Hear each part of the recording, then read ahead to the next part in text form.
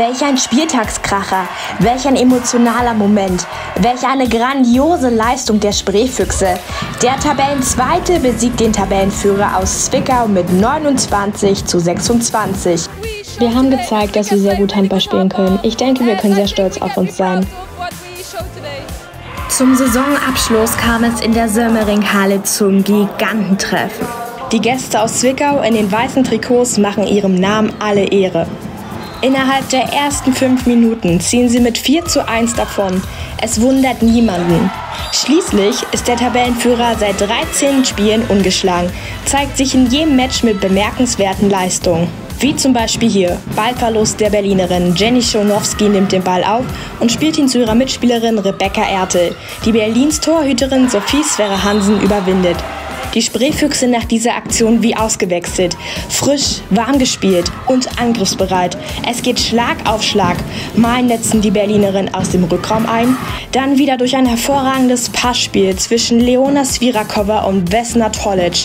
Bis zur Halbzeit ziehen sie mit 16 zu 13 davon.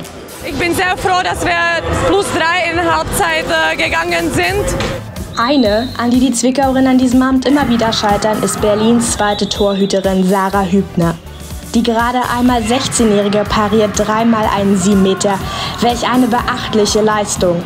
Auch Neuzugang Lisanne Krieswig und die Tschechin Leona Svirakova zeigen, was sie im Angriff zu bieten haben und führen, wie hier zu sehen, zwischenzeitlich mit einem 5 zu 0 Lauf. Letztere ist mit acht Treffern beste Schützin im Spitzenspiel. Bei den Gästen hingegen fehlt es in der zweiten Hälfte definitiv an Treffsicherheit und Spielfluss.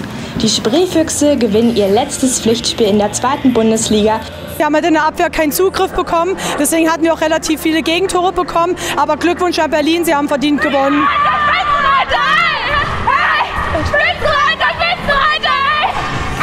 Diese Niederlage können die Zwickauerinnen gänzlich verschmerzen. Sie sind der Gewinner der zweiten Liga.